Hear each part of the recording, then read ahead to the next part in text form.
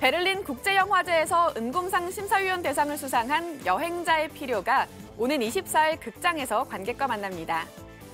홍상수 감독의 31번째 장편 영화로 프랑스에서 한국에 온 여성 이리스가 한국인들에게 프랑스어를 가르치고 막걸리를 마시며 생활하는 이야기를 그렸는데요. 프랑스 배우 이자벨 위페르가 주연을 맡았고 배우 이혜영과 권혜요, 조윤희 등이 출연했습니다.